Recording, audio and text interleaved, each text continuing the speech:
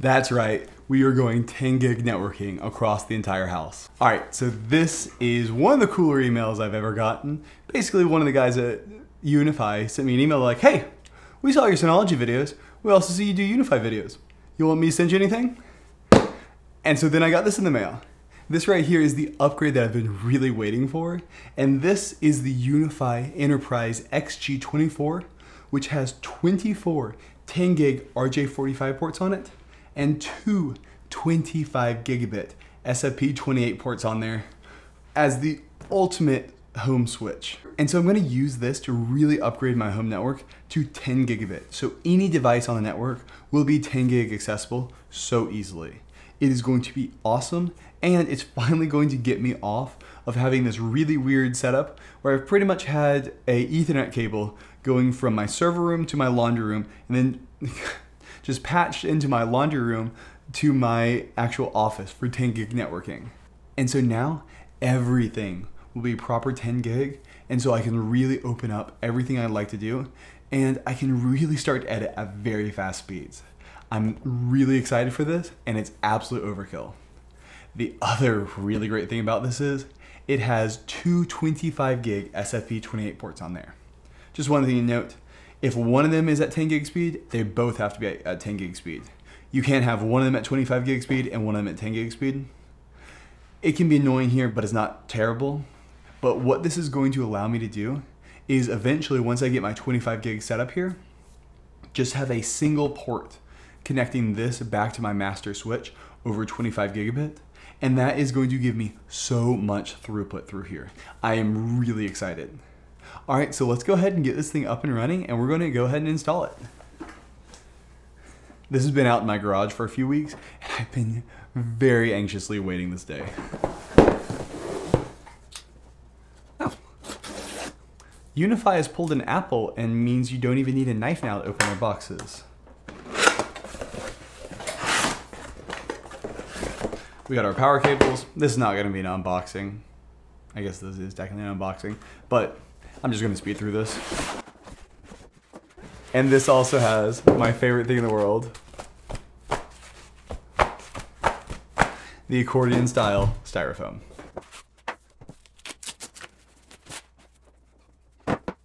So I am really excited to get this thing up and running because my 10 gig networking has been just, it's been janky to say the least. And this is going to really bring me into the 21st century with it oh, and it is going to be absolutely awesome.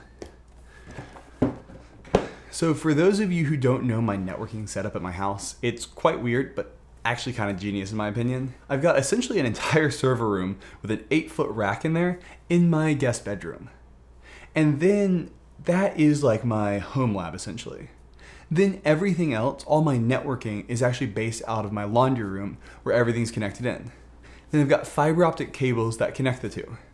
The advantage of this is I can run my entire networking stuff out of a separate area than my actual rack.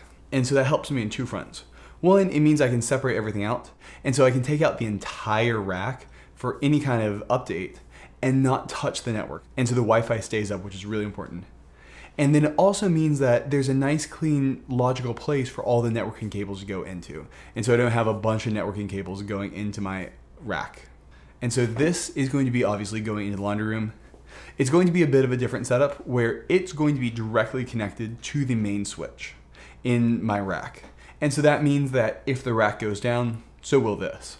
So this will just be my devices and nothing on here will be crucial to the entire use of the network.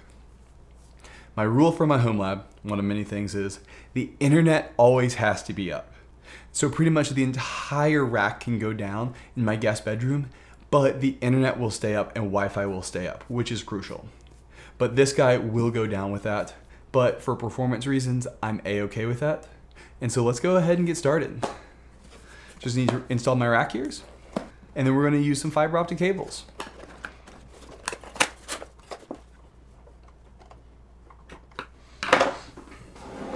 All right, so now he's all ready to go. And so now we're going up and installing this in my laundry room. So now to actually get this going, the very first thing we need to do is I actually need to have the fiber hookup from here This right here is my master top of rack switch, at least it is for now. I'm actually planning on upgrading this to 25 gigabit with the UniFi Enterprise Aggregation Pro, I think that's the one it's called. And so once I've got that upgrade in here, this will all be 25 gigabit, but for now it's 10 gig. And so I just need to run some fiber optic cables from the wall back there, which is hooked up to my laundry room. And so it will be able to be hooked up right there. So I'm just gonna run two of them really quick. And we're gonna add some transceivers and go from there.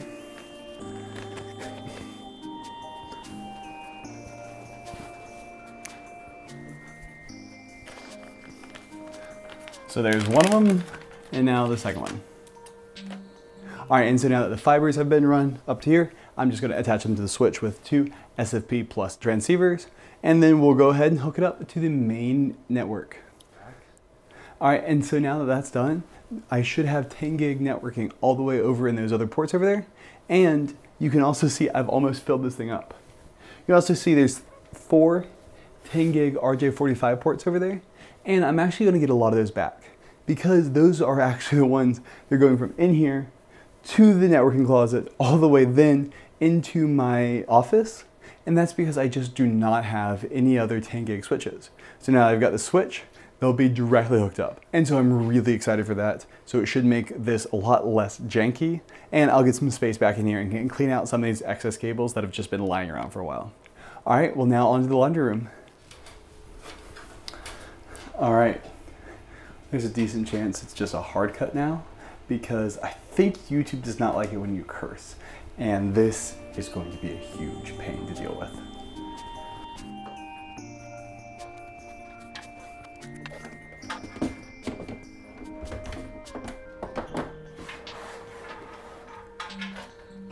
That was, okay, never mind.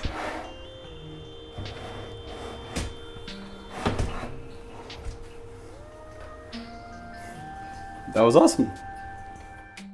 All right, so now it's safely installed. So now I'm just gonna hook up to start one of these. And so that way we don't end up with a loop to start out with. And then just from the app, I'm just going to make it into an aggregate port.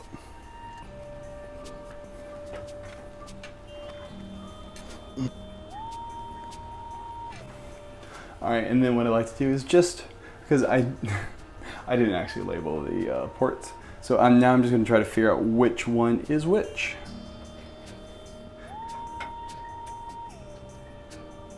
All right, so 24 is live. And 23 is live. So that would be why we were getting no signal. I had a one in three chance of that happening. And boom, now he's going to be connected in the rest of the network.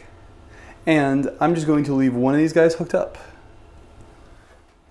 All right, I'm just going to leave this guy halfway plugged in. So that way when I do go in and set up on the network really quick over there, I can just plug it in fully. And that way we don't start off with a loop because loops are, uh, loops are bad. Though it should detect it, it still can cause weird issues. All right, well now we're done in here. So now I'm just gonna go ahead and go back in the office and get everything set up and running. All right, so now I can finally undo some of the jankiest setups that I've had. I can finally bring in these ports that I've been wanting to at full 10 gig and not worry about having everything perfect.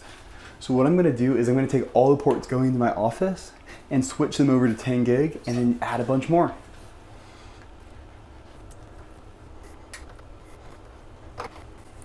All right, perfect. There's a lot more ports I wanna add, but for now, this is what I require to get up and running.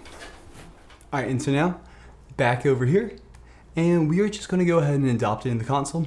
I'm gonna run back over there and switch it over to some link aggregation so I can get 20 gigs of throughput. It's not a full 25 gig or 50 gig that I can with the upgrade, but for now, that's what we're at. So I'm just gonna go in here and it should be found pending adoption, perfect. All right, and so now while it's going through and updating, I'm gonna go ahead and just start off the link aggregation over here by selecting the two ports. And I'm going to say that they are going to be aggregate. So 11 and 12, I am just going to wait until it's done updating just because switching it off is not a great idea right when it's updating. But once that's done, I'll switch it on over and it should be fine. It's probably fine, but it's just one of those things. You wait 30 seconds for it to update, a lot less problems. It's definitely worth it. All right, a little bit of fiddling later. Had to undo it and redo it, and then it worked. Link aggregation is just kind of like that sometimes. Once it starts working, it's pretty much good. But the first time to establish a connection, for whatever reason, sometimes just doesn't work. Now, when everything boots up again, it, at least in my experience, will be totally fine. But the very first time going from non-aggregated to aggregated tends to be quite weird. But we should be good, and now let's go ahead, I'm just gonna do a really quick test to see if this thing's got the full 10 gig. Now I've got tons of ports around my office that are 10 gig, and around the house that will be soon to be 10 gig. So I'm just plugging in a little 10 gig dongle right here, and we have connected with the full 10 gig speed. Unfortunately, I can't do a speed test right now because all my servers are down for filming this video, but I'm fairly certain that this is going to have zero trouble running it. And if it doesn't for whatever reason, by the time I'm editing this video, you'll have a fill-in. I am not going to do a full review of this yet because I have not gotten to the 25 gig setup and I feel like I need to have 25 gig and also this running for a while before my full review. So stay tuned for that. But finally, we have the full 10 gig capability across my entire house and I'm really excited for that. I got to clean out such a junk, janky setup that has been driving me crazy for a while and I think it looks really great. Go and leave any of the tutorials like see me make in the comments below and check out all my other videos and have a good one. Bye!